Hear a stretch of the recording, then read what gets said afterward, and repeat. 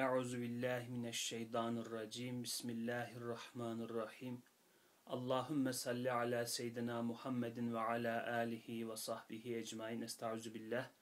Rabbi şirah li sadri ve yessir li emri vahlul ukdeten min lisani yefkahu kavli. Allahümme enfa'ni bima allemteni ve allimni ma yenfe'uni ve zidni ilmen. Elhamdu ala kulli halin ve euzu billahi min halin ehlin nar. Amin. Allahümme amin. Selamünaleyküm arkadaşlar. Sözler Risalesi okumalarımıza 10. sözden devam ediyoruz. 10. sözce de 3. suretteyiz. Ee, Tabi yine başlamadan önce okuduğumuz sözün başında geçen ayetleri bir hatırlayalım. Nereden başladık? Hangi güzel adımla yola çıktık? Ee, nereye döneceğiz tekrar? Her ikisinin de bağlamında olarak bu ayetleri okuyalım çünkü Bediüzzaman Hazretleri hep tekrar ediyoruz. Risale-i Nur'da bazı ayetleri anarak başlıyor. Genelde böyle yapıyor. Yapmadığı da var ama genelde böyle yapıyor. O ayetler hem yola çıktığımız yer hem de sonda vardığımız yer. Yani hem başlangıcımız hem bitişimiz, hem bidayetimiz hem nihayetimiz. O gözle bakmak lazım bu ayetlere. Biz metnin içinde hep bu ayetler üzerinde dönüyoruz. Bu ayetin öğrettiği perspektifle düşünmeye çalışıyoruz, görmeye çalışıyoruz, anlamaya çalışıyoruz. Öyle bakarsak Risale-i Nur'dan istifademiz de elbette daha ziyade olur. Ayetten bağımsız bir metin okumuyoruz yani. Bu yüzden tekrar tekrar hatırlamakta fayda var. Evet. 10. söz Haşir Risalesi şu ayetlerle başlıyor. Bismillahirrahmanirrahim. Fenzur ila athari rahmetillahi keyfe yuhyil arda ba'de mevtiha. İnne zâlike le muhyil mevta ve hu ala kulli şeyin kadir. Kısa bir meali şöyle bu ayetin. Şimdi bak Allah'ın rahmet eserlerine, yeryüzünü ölümün ardından nasıl diriltiyor. Bunu yapan elbette ölüleri de öylece diriltecektir. O her şeye hakkıyla kadirdir. Rum suresinin 50. ayetiydi bu. Rum suresinin 50. ayeti. Kısa bir mealini, kısacık bir mealini tekrar okuyorum. Şimdi bak Allah'ın rahmet eserlerine, yeryüzünü ölümün ardından nasıl diriltiyor. Bunu yapan elbette ölüleri de öylece diriltecektir. O her şeye hakkıyla kadirdir. Daha meal yüz, düzeyinde ayetle yüzleştiğimizde şunu fark ediyoruz. Ayet-i kerime bize baharı bir delil olarak zikrediyor. Ondaki tasarrufa, ondaki işleyişe, ondaki inceliklere, onda olanlara e, bakmamızı, daha dikkatli bakmamızı, daha incelikli okumamızı emrediyor. Ondan sonra da oradan hem kudrete hem rahmete gördüğümüz delillerle haşrı ispat ediyor. Bahar varsa haşir de olmalı dedirtiyor baharı ne iktiza ediyorsa Allah'ın Esma-ül Hüsna'sından, sıfatlarından neler o baharın tekrar dönüşünü kıştan sonra iktiza ediyorsa haşri de onlar iktiza ediyor. Baharı ne mümkün kılıyorsa baharın yaratılmasını Cenab-ı Hakk'ın hangi isimleri, hangi sıfatları, hangi şuunatı mümkün kılıyorsa onlar haşri de mümkün kılıyor. İşte kudret, işte rahmet. Baharı yaratan kudret, baharda binlerce türü tekrar dirilten kudret, yeşerten, can veren kudret elbette ahirette insana tekrar hayat vermekten aciz değildir. Geri dönüyoruz. Baharda bu kadar türün tekrar hayatına dönmesini isteyen rahmet, lütfeden rahmet, nimet eden rahmet, bağışlayan rahmet yine iktiza eder ki giden insanları da geri döndürsün. Gördünüz mü? Hem kudret hem rahmet bu ayette anılıyordu. Her ikisi de bize lazım oldu haşrı anlamada. İşte ayetleri böyle incelikli bir şekilde okumayı bize ehli sünnet müfessirler öğretiyor. Başta aleyhissalatü vesselam Efendimiz olmak üzere ki onun hayatı Kur'an'ın ilk tefsiridir aynı zamanda. Ondan sonra sahabesi, tabi'in, tebe-i tabi'in, selefi salihin büyüklerimiz, ehl sünnet vel cemaat e, uleması, topyekün olarak bize ayetlere böyle bakabilmeyi, böyle zengin görebilmeyi öğretmişler. Şimdi biz de o geleneğin, e, o mirasın bir parçası olan Risale-i Nur'dan aynı dersi alıyoruz elhamdülillah. Pekala baştaki ayetleri hatırladık. E, mevzunun ne olduğunu gördük. Gidiyoruz şimdi tekrar e, dördüncü pardon üçüncü surette kalmıştık. Üçüncü surette üçüncü surette bakalım bize nasıl bir hakikat üzerinden haşrin varlığı anlatılacak, ispat edilecek. Buraya kadarki kısmı beraber okumadığımız yani bu tefekkür yolculuğunda bizimle beraber olmayanlar için hem o derslerimize geçmiş derslerimize 10. söz derslerimize havale edelim hem de buraya kadar nasıl geldiğimizi anlatalım. Bize bir temsil, bir hikaye aktarıldı. O hikayede iki arkadaş var. Bunlardan bir tanesi e, varlıktaki serbestliği üzerinden önce ateizme gitti. Sonra deizme kadar geldi arkadaş onu Allah'a anlattı yani Allahsız olur mu dedi bu düzen bu kainattaki e, işte intizam nizam vesaire birine ustasız olmaz bir köy muhtarsız olmaz falan onlarla anlattı geri bastı deizme geldi bu sefer dedi ki ya tamam Allah olsun da benim yaptıklarım ona ne zararı olur ben günah işlesem ne olur ibadet etmesem ne olur o büyük Allah bundan ne eksilir ne noksanlaşır ki benden böyle bir şey istesin falan filan diye bir iddialara girdi. Onun üzerine de arkadaşı dedi ki ya bak böyle şeyler söyleme. Bu düzen elbette bir hesapla dönüyor yani. Bir yerde düzen varsa muhasebesi de vardır onun. Ha biz burada belki bir kısım serbestliğleri görüyoruz ama illaki bu şiddet intizam bize de bir yerde e, bir hiza verir. Bizi de bir düzene sokar. Bize de bir hesap sorar. Şimdi lokantaya geldik. Lokantada istediğimizi istiyoruz mesela işte canımız ne çekerse onu garsondan istiyoruz. Getir garson, getir garson, getir garson. Geliyor önümüze hepsini yiyoruz. Karışan var mı? Şundan çok yedim, bundan az yedin diyen var mı? Yok. Ama kalkıp gidebiliyor musun peki oradan istediğin gibi? Yok. Bir de hesap zamanı var. Gel bakalım ne yedin şunları şunları. Hah onun tutarı da bu kadar diyorlar değil mi? Şeyde böyle oluyor lokantalarda falan bile. E, hal böyleyken e, serbestinin birebir hesapsızlık anlamına gelmediğini bilmek lazım. Deizmin işte o Allah var ama ya ibadet din falan filan bunların gerek yok. Bunları Allah da istemiyor zaten böyle şeyler falan diyenler. Geçmişte de mürciye diye bir akım varmış mesela bunu savunan. Bunların düştüğü temel hata bu e, serbestlik hesapsızlık anlamına gelmez. O serbestlik bir maksat için olabilir. İşte lokantadaki serbestlik ne için? Adam dilediğini istesin yesin diye yani şimdi her istediğini mesela atıyorum iki porsiyon döner istedin. Paran var mı bir göster bakalım. Soruyor mu adam sana? Sormuyor. Rahat rahat ye diye. Ya da her getirdiğinin parasını hemen almıyor. Ama en sonunda da bir soruyor yani. Bu kadar da boşuna değil diyor yani bu kadar emek, bu kadar yemek gibi gibi. İnsanın da bu dünyada tamam bir kısım serbesti yaşıyor. istediğini seçebiliyor. Günah da var, sevap da var. Ama bu serbestliği sonunda bir hesap olmadığı anlamına gelmez. Eğer bir düzen varsa, istediğin hemencecik oluyorsa, güzel oluyorsa, kolay oluyorsa, özen varsa illa sorarlar bunu bedava yedirmezler. Senin derk etmen lazım bunu. Gittin lokantada yemek söyledin. Adam hesap isteyince ne hesabı dedin. Seninki mantıksızlık olur yani. O kadar hizmeti boşuna mı yaptılar sana?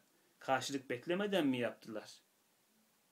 Diye düşünmen lazım. Evet oradan da en son 3. surete geldik. Bakalım 3. surette nasıl bir delil öğreneceğiz. Bak ne kadar âli bir hikmet bir intizamla işler dönüyor hem ne kadar hakiki bir adalet, bir mizanla muameleler görülüyor. Halbuki hikmet hükümet ise saltanatın cenah himayesine iltica eden mültecilerin taltifini ister. Adalet ise raiyetin hukukunun muhafazasını ister. Ta hükümetin haysiyeti saltanatın haşmeti muhafaza edilsin. Halbuki şu yerlerde o hikmete, o adalete layık binden biri icra edilmiyor. Senin gibi sersemler çoğu ceza görmeden buradan göçüp gidiyorlar. Demek bir mahkemeyi kübraya bırakılıyor. Evet, üçüncü suret bu kadardı. Küçük bir metin, kısa bir metin. Fakat küçüklüğü, kısalığı bizi kandırmasın. İçinde büyük bir hakikat barındıran bir metin. Evet. Şimdi tekrar ince okumasına başlayalım. Bak, ne kadar ali bir hikmet, bir intizamla işler dönüyor. Dün de konuşmuştuk bu bak emrinin altında saklanan sırrı. Bunlar demiştik Kur'an'ın sünnetin emirleri aslında. Üstad Hazretleri bize bak dediğinde aslında Kur'an'ın deveye bakmazlar mı, hiç düşünmez misiniz, akletmez misiniz, tefekkür etmez misiniz gibi emirlerini barındıran bir silsilenin ahir zaman ucu oluyor. Yani bizim dini metinlerimizin tamamı bize bakmayı, düşünmeyi, tefekkür etmeyi, e, incelemeyi emrediyor. Bu anlamda şunu da söylemek lazım işte ateistler genelde bunu dillerine dolarlar işte iman etmek düşünmemektir falan filan diye. Hiç alakası yok arkadaşlar. Ne demek iman etmek düşünmemektir falan filan. Bunun Müslümanlar açısından bir konulacak yeri var mı? Yok. Neden? İşte dedik ya başta Kur'an, başta sünnet. Yani bu din geleli beri içinde düşünme emri var. Tefekkür etme emri var. Ee, yani inceleme emri var. Bakma emri var. Ya kendi içinize kapanın hiçbir şey umursamayın. Siz sadece benim dediğimi yapın falan demiyor Cenab-ı Hak. Ne diyor? Ya bakın, görün. Zaten kainat Kur'an'ı, İslam'ı, sünneti doğruluyor. Onlardan da deliller, deliller tefekkür edin diye buyuruyor Cenab-ı Hak. Hal böyle olunca hani Müslümanların bu anlamda suçlanmaları kadar mantıksız bir şey yok ki bizim nasıl bir ilmi miras üzerinde durduğumuz da belli arkadaşlar. Hiç böyle özgüvensiz olmayalım. İslam aleminin telif ettiği eserler, Efendimiz Aleyhisselatü Vesselam'dan bu yana o oluşan ilmi gelenek, ilimler, hani din üzerine sadece kaç ilim dalı var? Fıkıh, hadis, kelam, e, ne bileyim tasavvuf, bunların daha alt başlıkları, ayrı ayrı mesela ihtisas alanları. Yani bizim dinimizin kendisi bir ilim zaten. Siyer, tarih, yani bu din, İslam dini ilim üzerinde duruyor. Ve diğer dinlerle kıyasladığınızda hiçbirisinde böyle bir şey yok. Yani şöyle diyeyim, elbette onların da kendi dayanakları olan metinler, kitaplar var ama bu kadar çalışma yok. Yani İslam var olmuş ilim diye bir şey sevdasına düşmüş. O hocalarımız, alimlerimiz Allah onlardan razı olsun. Yazmışlar, çoğaltmışlar, nakletmişler, korumuşlar ve topladığınızda o kaynakları kütüphaneler doluyor, taşıyor yani. El yazmalarıyla o zamanlar, o imkanlarla, okut imkanlarla büyük bir miras oluşmuş. Biz bugün onu takip ettiğimizde işte ta atıyorum Emeviler döneminden o eserleri bulabiliyoruz. Daha önceki zamanlardan kalan nüshalara rastlayabiliyoruz. Ya İslam zaten hep düşünmek, akletmek üzerine. Ha, bunların demek istediğine bunlar septik düşünceyi düşünmenin tek şekli sanıyorlar arkadaşlar. Yani şüpheci olmayan düşünmeyi düşünmek saymıyorlar. Öyle olmak zorunda mı? Yani düşünmenin tek şekli öyle olmak zorunda mı? Elbette değil. Yani bunların şeyi ne onu anlatayım size. Şimdi Allah'a iman ettim ben. Kainata bakıyorum Allah'ın delillerini arıyorum. Diyor ki sen diyor olmaz sen bu diyor düşünmek değil. Sen diyor şüphe ederek bakmadın diyor. Ya ben inanıyorum zaten niye şüphe edeyim? Yok diyor şüphe edeceksin. Septik olacaksın. Yoksa hakikate ulaşamazsın. Arkadaşlar bu bir dayatmadır, bir dogmadır bu da. Yani şüpheci olmayan hakikate ulaşamaz diye bir şey yok. şüpheci olmak bir kere e, başlı başına bir şeye dayanmak zorunda. Delile dayanmak zorunda. Yani mesela işte usulü fıkıhta galiba böyle bir kaide var. Bir delile e, dayanmayan şüpheyle amel edilmez. Yani söz gelimi şimdi Müslüman bir memlekette yaşıyorum ben.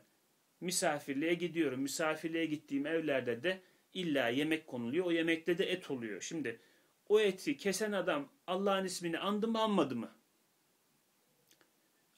Burası Müslüman memleketi. Bu da Müslüman e, evi. Kesilen hayvanı kesen de Müslüman. Şimdi kesilmediğine dair bir şüphe var mı? Hani bir delil var mı? Kesmeyen bir adamdan alındığına dair etin bir delil var mı elimde? Yok. O zaman ben hüsnü zanla amel etmek zorundayım. Burası Müslüman evi. Müslüman evinde misafirim. O et de bir Müslümandan alındı. Kesilmiştir diye düşüneceğim. Yani işte şüphe delile dayanmıyorsa onunla amel edilmez. Burada da geçerli. Veya düşünelim işte şu an mümkün ki Karadeniz yerin dibine batmış olsun. E mümkün mü? Mümkün. Olabilir. İşte Van Gölü suyun yerin dibine çekilmiş olsun. Olabilir mi? Ya fiziken olabilir. Altta bir çatlak oluştu. Su gitti.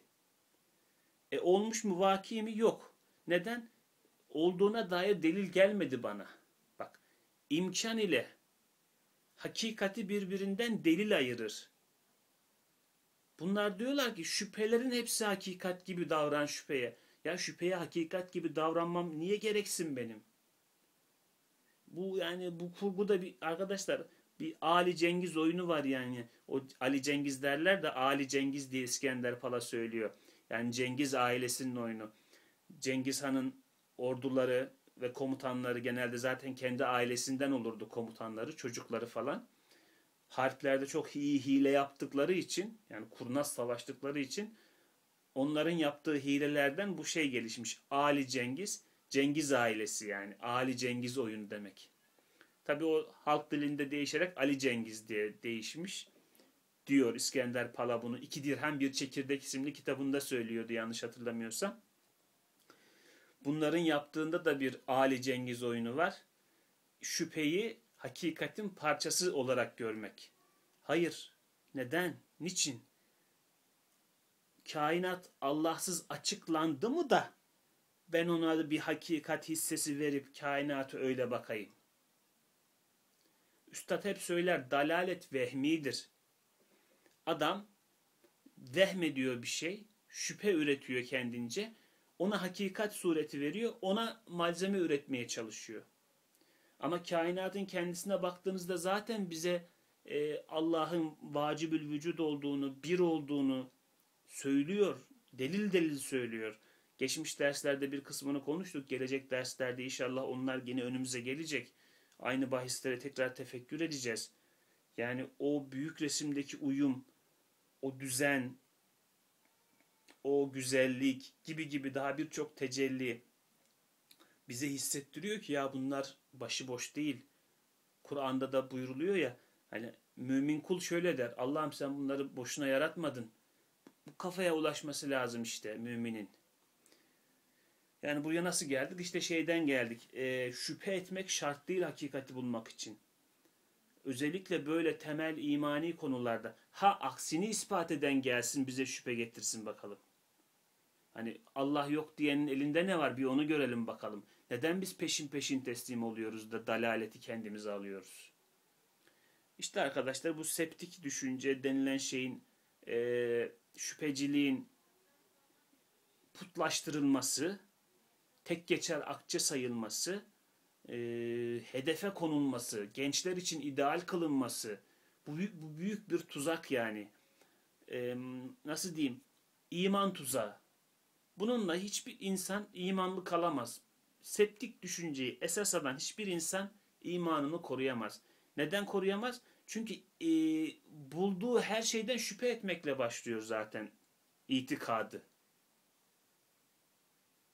Yani kesin o kesin olarak neye ulaşsa, neye kesin dese ardından ilk gelen şey acaba bulduğum şey kesin mi?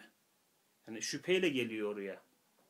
Elbette böyle bir düşünce sisteminde e, imanın muhafazası mümkün değil. Böyle bir insanın en çok yakışan hal nihilizm veya agnostizm. Yani öyle bir itikatla ancak bu sahada var, var olunabilir. Biz kendimizi aman ha, sakın ha, eyvah düşmeden o tuzaklara korumaya çalışalım. Şüphe bir düşüncenin, bir hakikatin gerekliliği olamaz.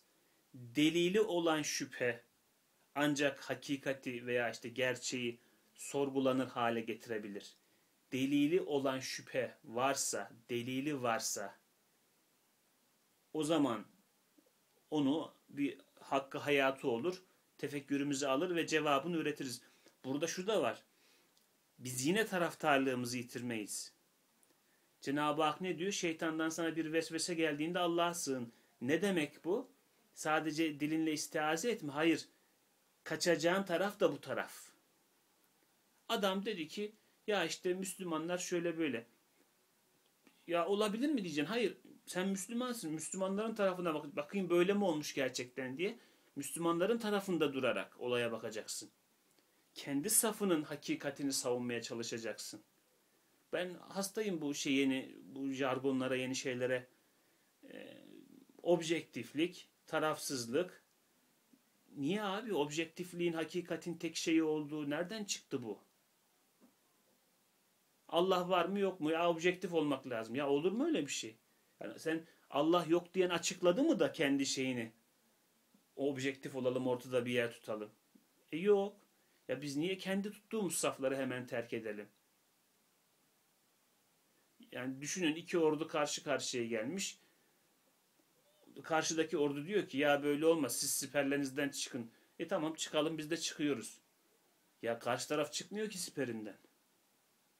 Yani objektif olalım diyenlerden hangisi bizim tarafa geçti?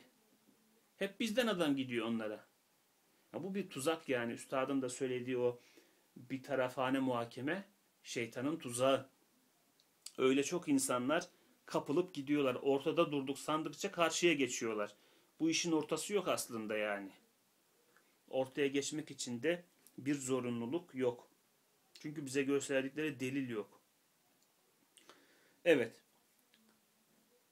Bak emrinden ta buralara geldik. Demek ki bu bak emrin içinde İslam'ın hakikati de gizli. İslam bakma, görme, boş ver, içine kapan, düşünme böyle emirler barındırmıyor. Aksine İslam'ın bir izzeti var. Tabiri caizse bir özgüveni var. Diyor ki bak bak yani korkma. Bunlar zaten beni doğrulayacak. Ben bu alemi yaratan Allah'ın gönderdiği dinim benimle alem arasında nasıl çelişki olabilir?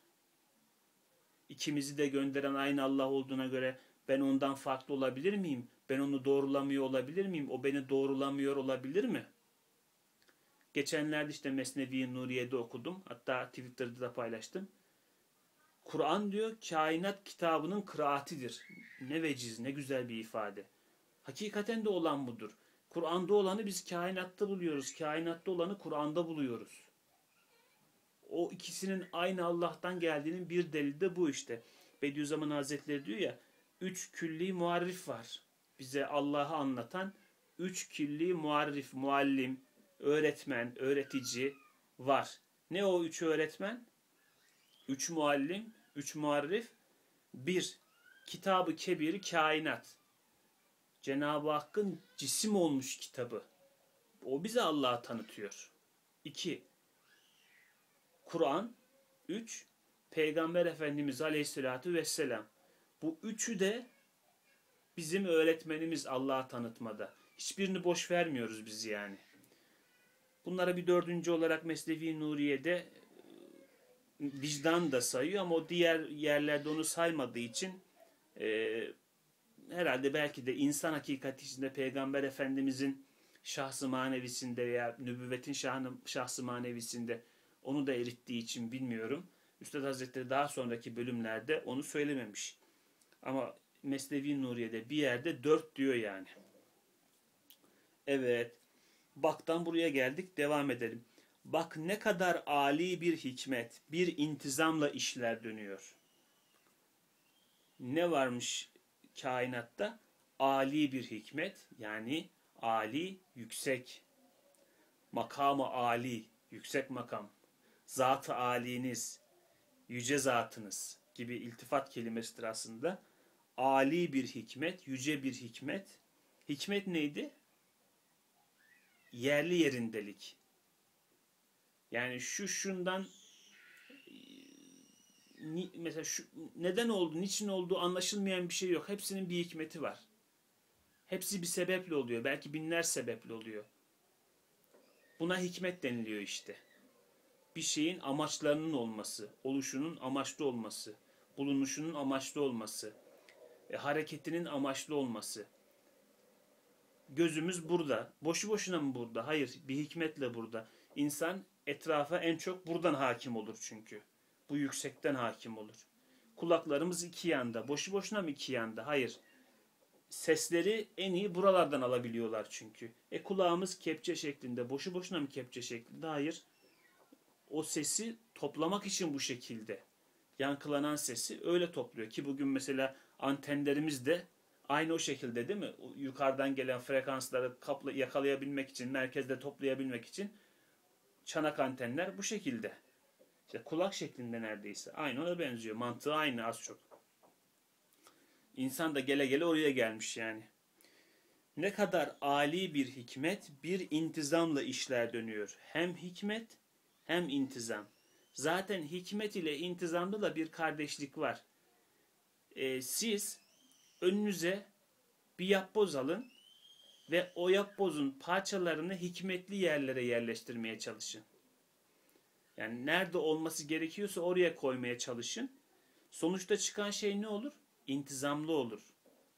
Yani düzenin parçası olur, düzenli olur, yerleşik olur, e, doğru yerde yerleşik olur. Yani parçalarda tek tek gördüğünüz hikmet daha bütünde intizam olarak karşınıza çıkar. Ne kadar ali bir hikmet bir intizamla işler dönüyor. Ee, dediğimiz gibi burada mevzuun iki tarafına bir gösterme var sanki. Cemal kısmında hikmet, celal kısmında intizam. Küçük dairede hikmet, büyük dairede intizam. Mikro dairede hikmet, makro dairede intizam.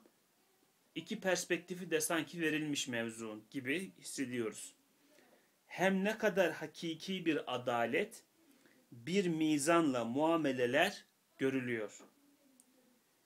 Burada ne dedi? Hem ne kadar hakiki bir adalet, bir mizanla muameleler görülüyor. Şimdi adalet dedi, mizan dedi. Ama niye hakiki dedi mesela? Burada hakiki geldi buraya. Yukarıda ali diyordu. Ali bir hikmet, yüce bir hikmet. Burada da hakiki diyor. Allahu alem bu benim düşüncem. Adaletin e, ve mizanın insanın dünyasında hatta insanlar sayısınca hatta işte ekoller sayısınca belki de devletler sayısınca farklı farklı tezahürleri var. Şimdi bakıyorsunuz mesela Amerikan hukuku başka, İtalyan hukuku başka, işte atıyorum Rus hukuku başka, Çin hukuku başka, yasalar başka, toplumlar başka, e, müeyyideler başka. Yani o sosyolojinin yapısı, o sosyolojinin sahip olduğu ahlak, din, e, alışkanlıklar, karakterler hukuklarını da etkiliyor. Hukukları etkili, etkilendiği gibi e, adalet şeyleri de etkileniyor, yaklaşımları da etkileniyor. Yani neye adalet diyorlar? Adalet dedikleri şey değişiyor. Bu açıdan tam böyle e, herkese eşit derecede uygulanır bir adalet yani ehli küfrün ve ehli İslam'ın beraber kabul edeceği bir adalet yok o anlamda. Ne var? Müslümanların kendi itikatlarından, dinlerinden, sosyolojilerinden, önemli bulduklarından beslenen bir adalet yaklaşımları var. Ehli küfrün de kendi inanışlarıyla, toplumsal alışkanlıklarıyla şekillenen farklı farklı adalet anlayışları var. Amerika'da idam cezası hala var. Hatta şöyle bazı eyaletlerde yok, bazı eyaletlerde var. E, Avrupa'ya geliyorsunuz, idam cezasını tamamıyla kaldırdılar. Türkiye'ye geliyorsunuz, biz de onlara uyarak kaldırdık. Ama İslam'a geliyorsunuz, İslam hukukuna kısas cezası var değil mi? Bir insanı nasıl öldürürseniz aynı o şekilde karşı taraf sizi affetmediği takdirde aynı şekilde siz de öldürülürsünüz. Yani kısas uygulanır size. İslam hukukunda bu ceza var. Şimdi hangisi adalet?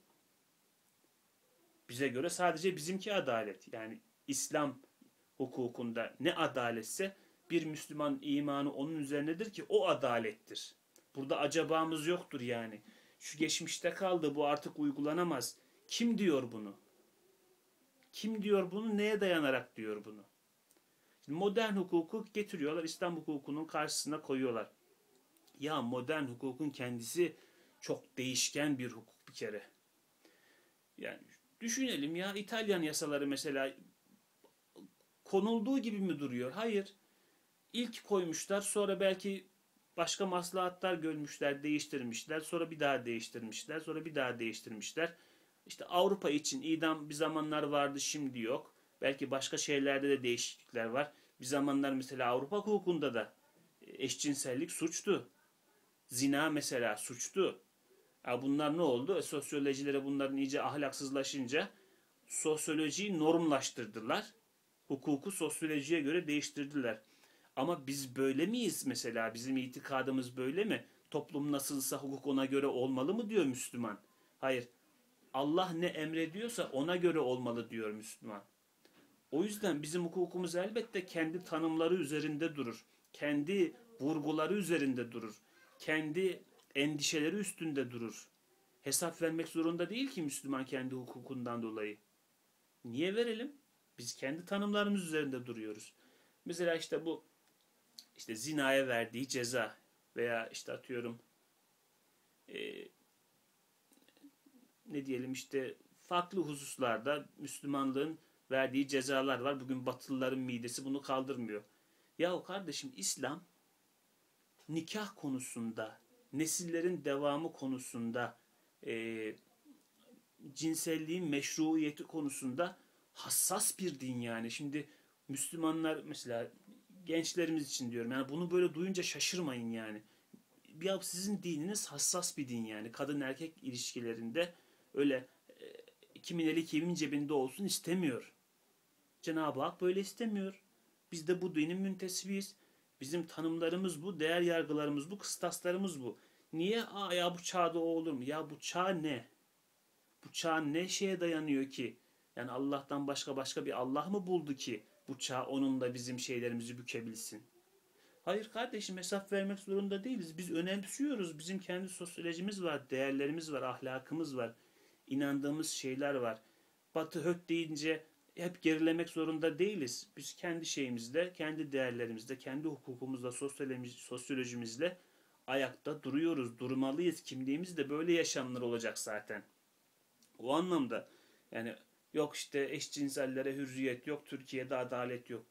Onun adalet olduğunu kim söylüyor? Yani ona bir serbestliği vermenin adaletin kendisi olduğunu kim söylüyor? Bu anlamda adalet bize göre, Müslümana göre kendi dininin emrettiğidir. Adalet odur. Çünkü itikadıyla, ameliyle bu din bir bütündür. O bütünlüğün hukuku da elbet o bütünlüğün parçasıdır. Adalet anlayışı da o bütünlüğe göre gelişmiştir. Bu konuda bir çelişkisi yoktur kendi içinde. Hesap vermediğimiz sürece, kendimizi ezik hissetmediğimiz sürece bu iş böyledir. Ama maalesef işte ahir zaman hadislerde bahsedilmiş böyle bir zamanın geleceği.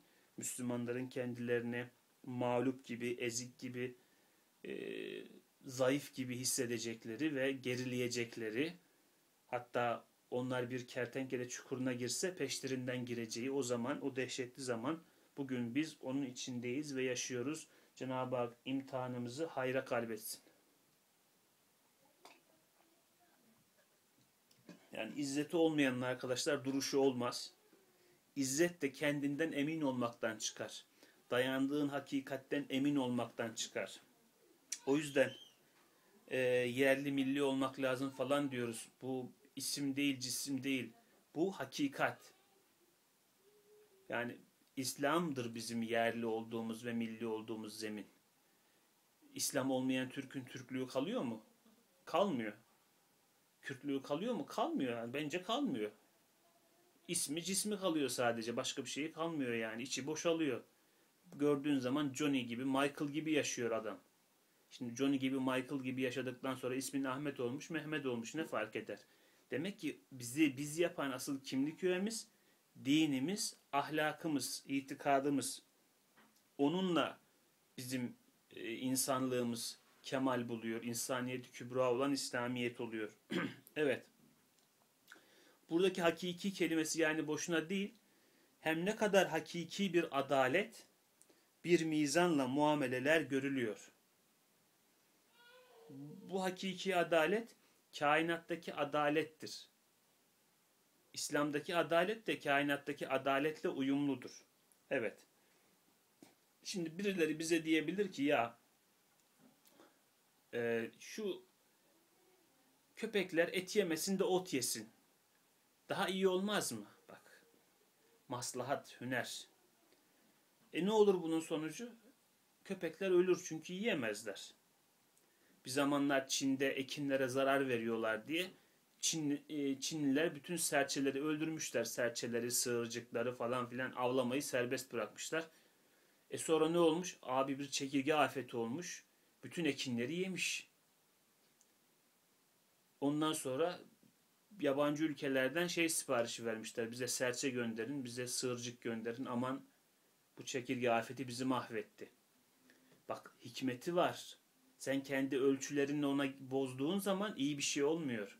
Bugün insanoğlunun yaptığı nedir doğaya? İşte kendi mizanıyla müdahaledir. Bana göre şöyle daha olsa daha iyi olur. E bir yapıyorsun aa, sonra diyorsun ki ya bak burası daha hikmetliymiş. Asıl doğal hali daha hikmetliymiş diyorsun. Ben yapmasam daha iyi olurmuş. Ne yapsak böyle yani çevreye uyum aramadan ne teşebbüste bulunsak çevre bize diyor ki bak bu yaptığın doğru olmadı. Ağaçları kesiyorsun yağmur da kesiliyor. Aa diyorsun böyle sonucu oldu falan. Gibi gibi yani hakiki bir adalet ve mizan bu kainattaki mizan. Nereden biliyoruz bunu? Ettiğimiz müdahalelerin geri dönüşünden anlıyoruz. Bakıyoruz ki ya bir ekosistem var, bir ekolojik düzen var. Buna yapılan her müdahale olumsuzlukla yanıtlanıyor. Sonuçları çok kötü yerlere varıyor. İşte küresel ısınmadır, çevre kirliliğidir, buzulların erimesidir falan filan bir sürü mevzu başımızda bugünlerde. Daha lokal olarak her yerde bu mevzular var. İnsanoğlu karıştırdığı zaman bulaşık eliyle kainattaki hakiki mizan ve adalet bozuluyor.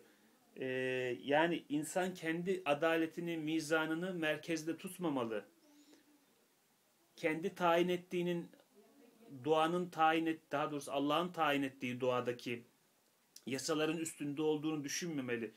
Böyle düşündüğü her yerde yalancı çıkıyor. Bugün artık yavaş yavaş bunları herkes kavramaya başladı yani bu e, insan merkezli çevre yaklaşımı, insan merkezli e, doğa yaklaşımı, dünya yaklaşımı bunların sonuçlarının iyi olmadığı, bizim karıncadan tut file kadar onlarla beraber bir bütün olduğumuz, hareket ederken de hepsini düşünmemiz gerektiği. İşte bir yere ev yaptın. Acaba buradaki kuşları ben rahatsız ettim mi bile.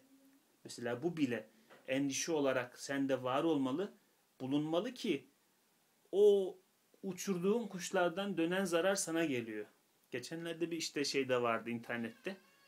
Bir lojmanlar varmış. Onların da karşısında kavak ağaçları varmış. O ağaçlarda galiba kavaktı. Çok karga toplanıyormuş. Tabi gürültüsünden ahali rahatsız olmuş.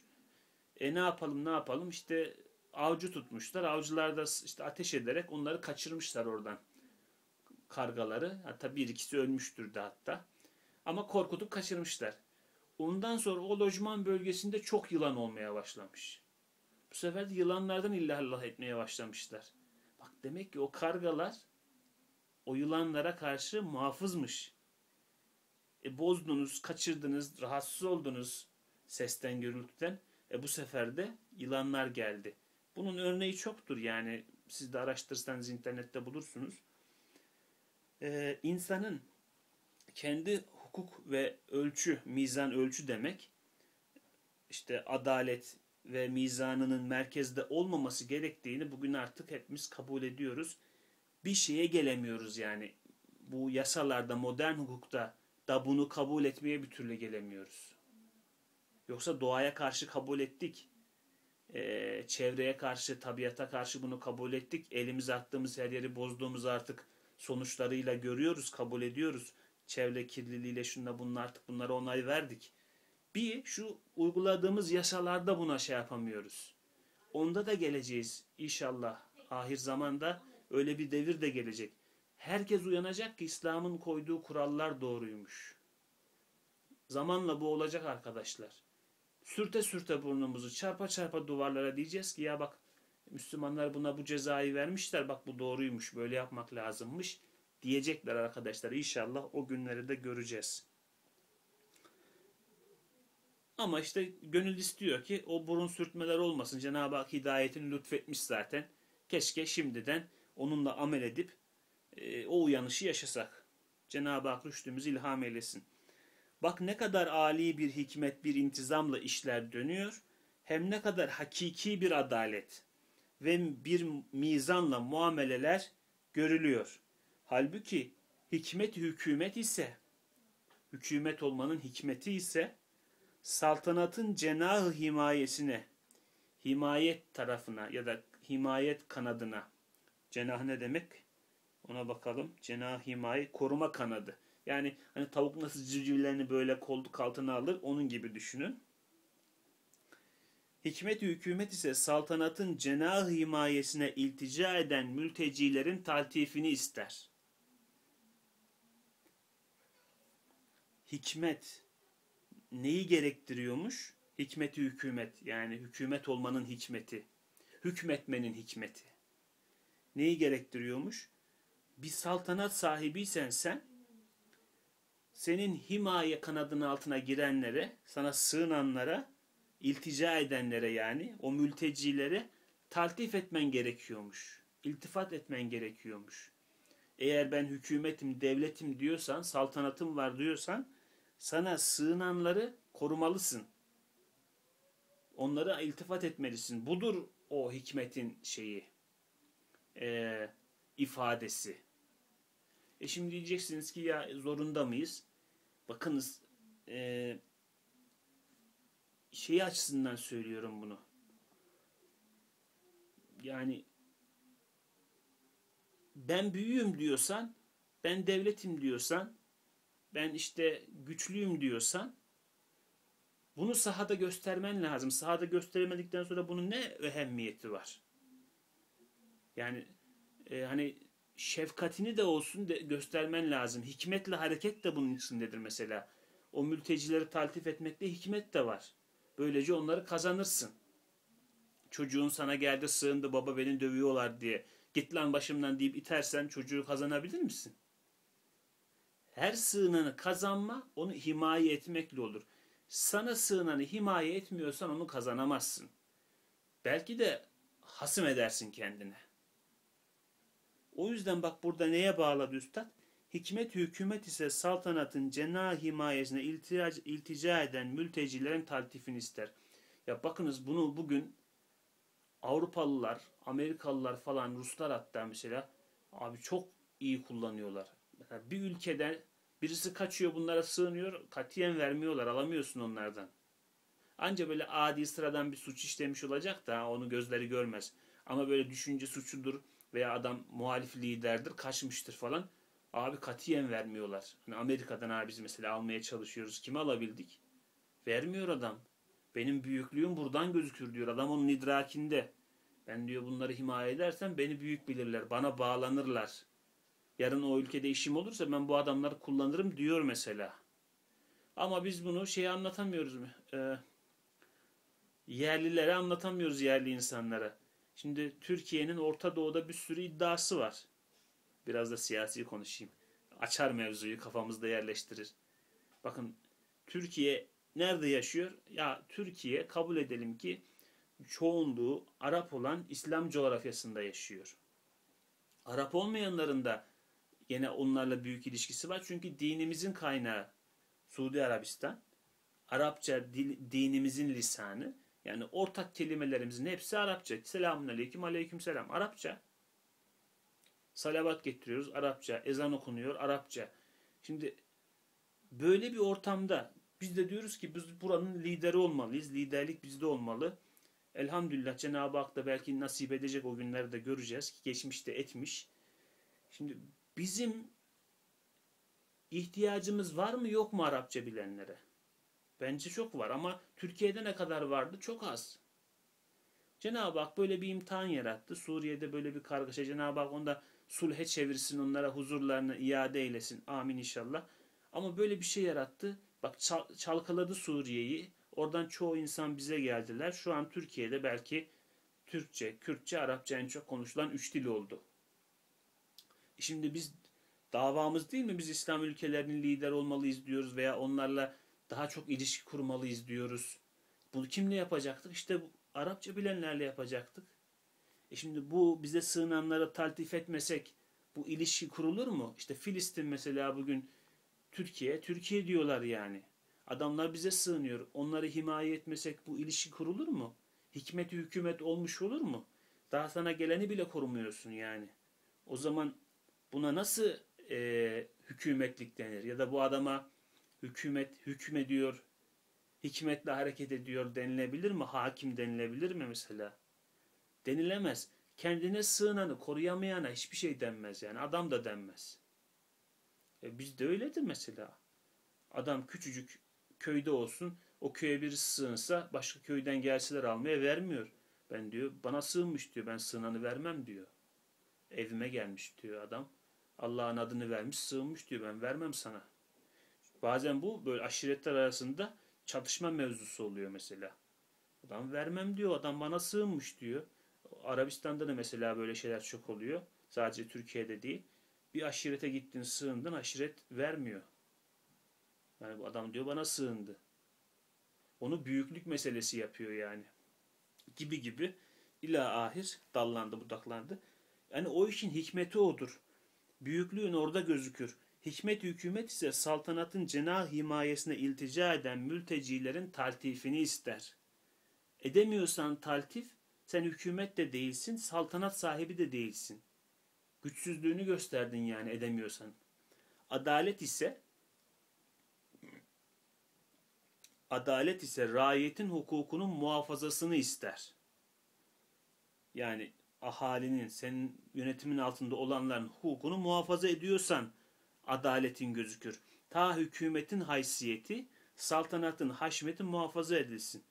Bak, sığınanları himaye, yönettiklerini de haklarını korumak. Bak, sığınanları himaye etmek. İki, yönettiklerinin de haklarını korumak. Onlardan ne çıkıyormuş? Hükümetin haysiyeti, şerefi ve saltanatının haşmeti. Yani bir haysiyeti var mı bu hükümetin? Nereden belliyor? Adaletinden. E, haşmeti var mı yönetiminin, saltanatının, gücünün haşmeti var mı? Yine adaletinden, o hukuku uygulamasından. Tıkır tıkır işliyorsa o sistem, o hükümetin haysiyeti ve haşmeti var demek. Halbuki şu yerlerde o hikmete, o adalete layık binden biri icra edilmiyor. Senin gibi sersemler çoğu ceza görmeden buradan göçüp gidiyorlar. Demek bir mahkemeyi kübraya bırakılıyor. Evet, bakın nereden nereye geldik. Kainatta gördüğümüz o hikmet, o adalet, o e, haysiyet, haşmet Cenab-ı Hakk'ın neyini gösteriyor? Adaletini, hikmetini bunları gösteriyor. İşte o hep örnek olarak veriyorum. Kimya formüllerindeki mesela şeyler işte iki tane hidrojen bir tane oksijen su oluyor. Üç olsun olmuyor. Başka bir şey oluyor.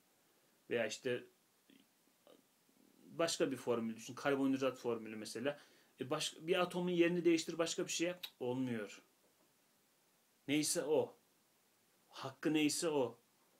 Yapacağı neyse o, görevi neyse o. Bu da bir adalet tezahürüdür. Yani kainattaki adaleti de buradan biçelim.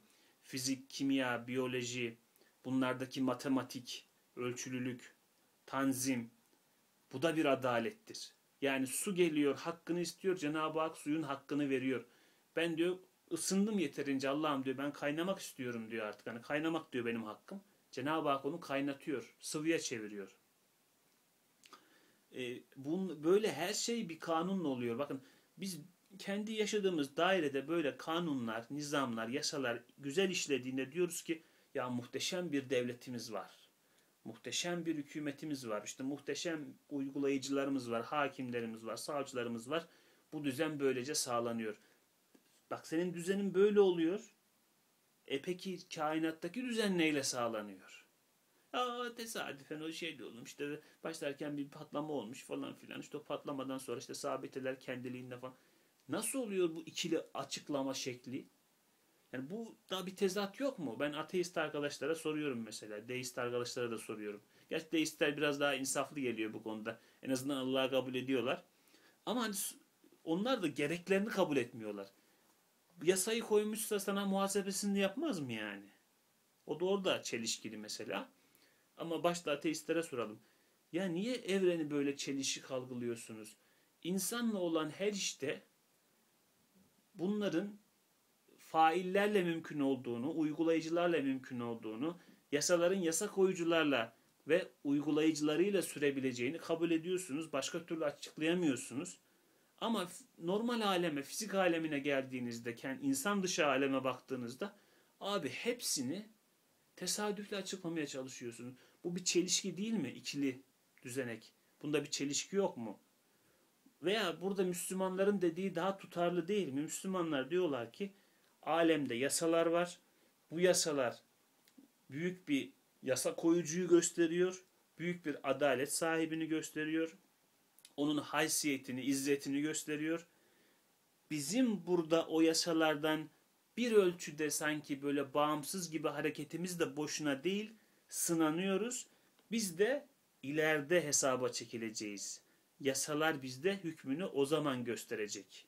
Şimdi Müslümanın bakışı daha tutarlı, sizinki mi daha tutarlı? Bak, insaf, ehli insaf düşünür der ki ya Müslümanlarınki daha tutarlı. Yani orada olanın burada da olacağını kabul ediyorlar. Bir tutarlılık yakalıyorlar. Siz diyorsunuz ki orada öyle, burada böyle. İnsanla ilgili her şeyde evet failsiz fiil olmaz.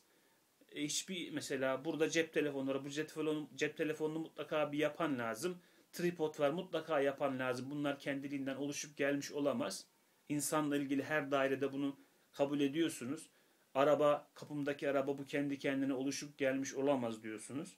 Ama geliyoruz şeye, arabadan bin kere, yüz bin kere daha sanatlı şeyler, o biyolojik bütün varlıklar veya fiziksel varlıklar da öyle. Ona geldim mi de abi tesadüfen oluşmuş, işte Big Bang olmuş, o basınçtan şu olmuş, buradan bu olmuş. Yapmayın. Çelişmeyin kendinizde. Gelin. Allah'ın ismi her şeyi açıklıyor yani. Ne gereği var öyle taklalar atmanın? Orayı başka burayı başka yapmanın iki yüzlülüğün ne gereği var? Diyoruz ve bu ikili açıklamadan kurtulup kendi imanımıza geldiğimizde şunu apaçık görüyoruz. Cenab-ı Hakk'ın kainatta muhteşem bir hükümeti işliyor, hükmü işliyor. O hükümetin hikmeti, adaleti, e, haşmeti, haysiyeti görünüyor. Yani bunu da bize bilim öğretiyor. En başta bilimsellik dediğimiz şey zaten bunu bize okuyor. Diyor ki işte şu, şu bilmem şuradaki şu zerrelerin bile şu şöyle bir yasası var. Bununla hareket ediyorlar diyor mesela. Veya gidiyor bilmem okyanusun bilmem kaç bin metre derinliğinde bir canlı buluyor. Bu canlının yaşaması için şu şu şu şartlar olması lazım. İşte bu şartlar burada işte Allah bunları burada böyle Allah demiyor da onları pek ma maalesef. Yani bu şartlar burada oluşmuş. Bu canlı da burada yaşıyor bu şartlar sayesinde diyor. E kardeşim bunu diyorsanız siz görüyorsunuz ki burada büyük bir düzen var, bir hükümet var. E bu hükümetin sizi de boş bırakmayacağını kabul etmeniz lazım. Kur'an'ın o buyurduğu hakikat insan başı boş bırakılacağını mı sanır? hangisi bırakılmış başıboş? Ayet aslında demiyor öyle ama çıkarmak lazım kendi hayal gücümüzde. Hani sanki her şeyi istedikten sonra ayet şunu söylüyor.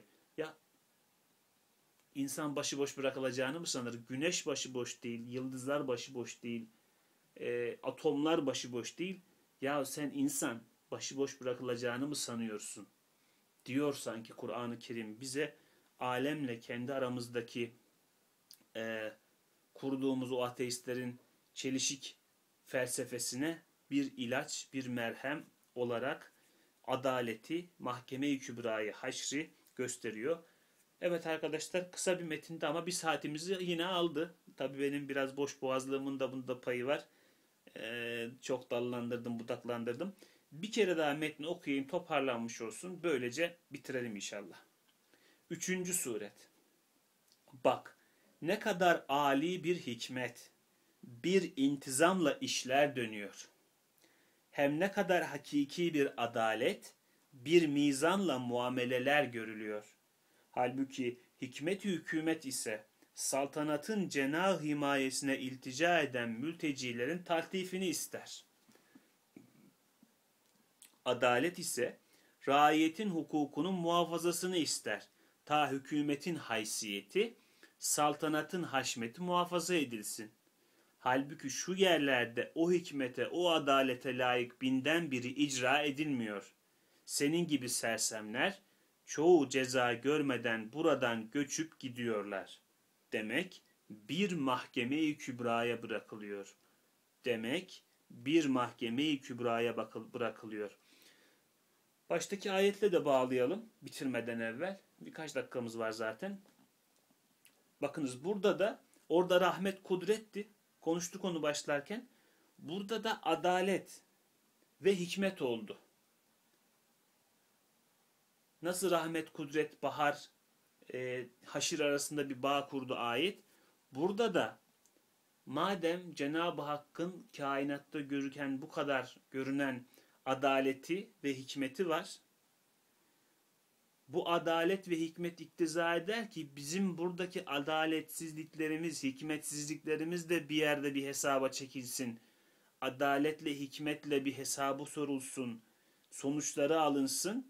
Müeyyidelere uygulansın. İster, diler bu nihayetsiz adalet, bu nihayetsiz hikmet. Yani sanki ayetin meali şöyle oldu.